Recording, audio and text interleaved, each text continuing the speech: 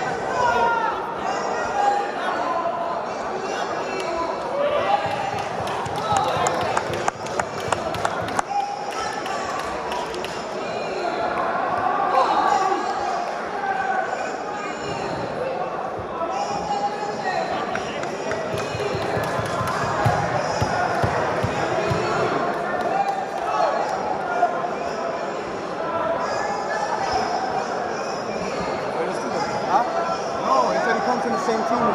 Our referee, we come literally from the same club, train together every